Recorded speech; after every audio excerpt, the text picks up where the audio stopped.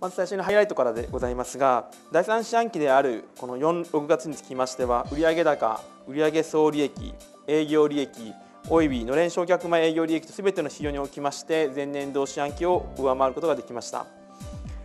事業全体で見ますとアドプラットフォーム事業が引き続き全社の成長を牽引している一方で第3の柱となる新しい事業を作る、まあ、インキュベーション事業においてシステムリニューアルが遅れプロモーション投資が4交代以降へとずれ込むことになりました、まあ、2つ目といたしましては当期の期末配当予想を10円から15円へと修正をしております。3つ目といたしましてはアドプラットフォーム事業における動画配信機能の一層の強化を図るため一部の事業を再編いたしました。続きまして7月25日付にて持ち分法適用の関連会社のモメンタム社。こちら持ち分比率20.4%ございましたがこちらの株式をシンドットホールディング社へ売却いたしました。この第3四半期におきましてはもともとこの広告換算期ということもございまして1、3月と比較すると比較的落ち着いたクォーターになったというふうに考えております。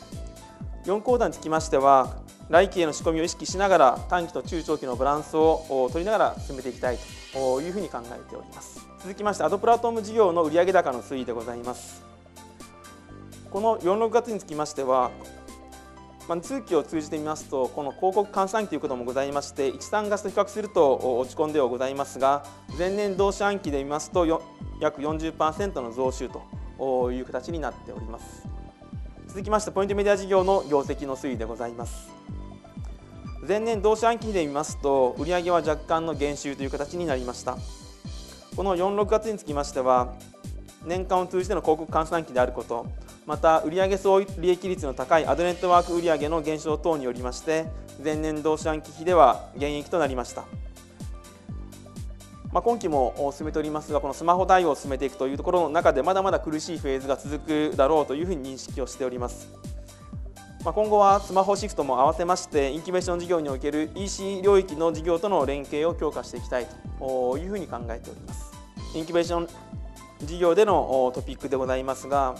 まあ、強化領域といたしましてフィンテック領域を掲げておりますがここでの新しい取り組みといたしまして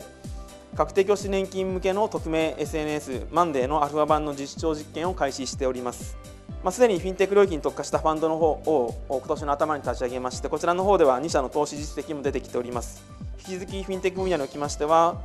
ベンチャーへの投資と事業開発こちらをセットで進めていきたいというふうに考えております